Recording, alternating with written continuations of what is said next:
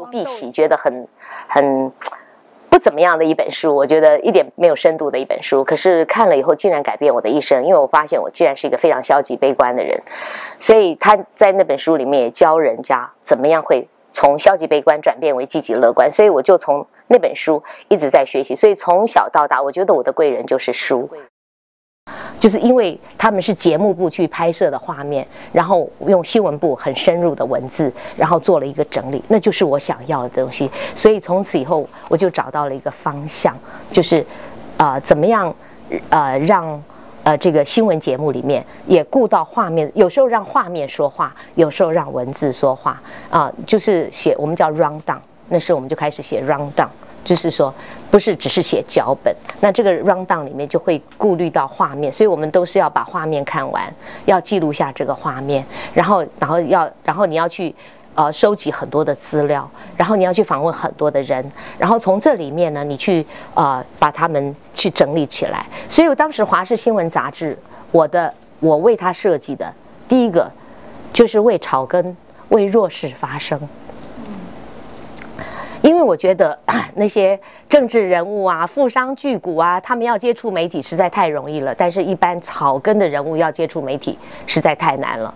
然后呢，我我是想要扮演一个桥梁的角色，让社会不同的族群可以认识彼此、了解彼此，所以我们会常常去拍不同的族群，包括特别是呈现弱势族群他们面临的状况。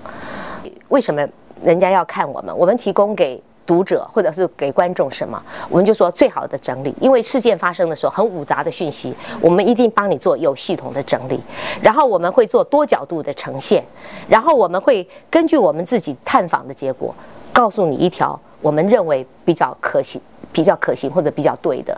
啊，比如说汇率该不该涨啦？自由经济啊，大就是就是说，呃，像那时候争论的非常多的，就是自由啦，或者是保护啦，啊，或者是全部开放啦，或者是不开放啦，或者像韩国这样子都大企业啦，或是像台湾的小企业啦，有很多这样子的讨论。那当时我们其实都很能够针对一些问题去做整理，去做铺陈，去去告诉大家。然后我们是会对最急速、立即发生的新闻事件做。呃，立即的报道。记我记得有一次，我们都录完影了。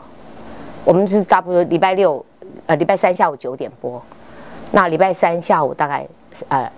就是下午录影，差不多三四点我们就会录完影。可是我们刚录完影，就印度发生政变，拉吉夫甘地被刺杀，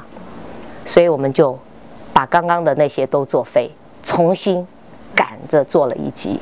嗯，因为我们觉得最新的新闻要告诉大家，而且要做很完整的报道，所以我们当时就以完整的报道、深入的剖析，然后呢，就是然后我们甚至是逻辑的分析啊，就是我们是有扮，就是到底客观不客观？那时候我们有很多的讨论，我自己本身跟我自己的讨论，就是所有的新闻媒体。其实很难做到绝对的客观，因为你去收集这些，我我就我可是告诉我的记者说，你不要有那个就是呃先入为主的成见，叫预设立场，就不要有预设立场。可是你去的时候，可是你在吸收资讯的时候，